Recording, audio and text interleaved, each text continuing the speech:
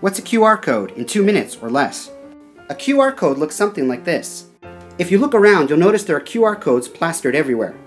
When you see a QR code, you pull out your phone or mobile device and it will redirect you to a web page or a video. When you go to scan in a code, you'll see something like this up on your screen. And voila, up comes the video or web page on your mobile device. What's the advantage of doing this? Why would I want to do this in the first place? Well, sometimes if you're out in the world or in the classroom, it takes a long time to write down a long, complicated address. Sometimes it's easier just to whip out your phone or tablet, scan in the code, and see the website or video. So in summary, a QR code is basically a shortcut to typing in a long, complicated address. QR codes can be as big as a building, appear in the classroom, or even show up in weird, unlikely places. However, in our workshop, we'll be passing out special cards for you to scan that will help you as you go along.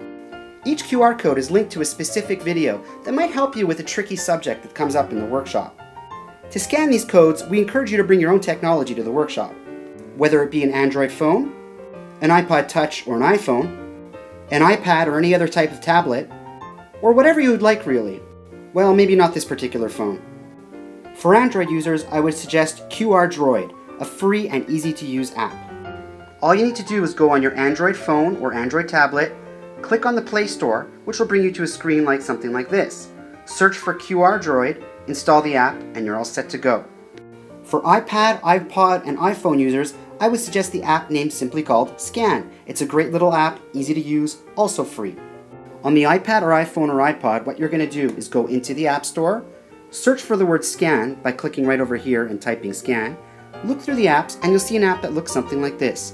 Click Install to install it, and voila, you're done. If you don't have a tablet or smartphone, don't worry, we'll bring a couple of extra to the workshop. See you then!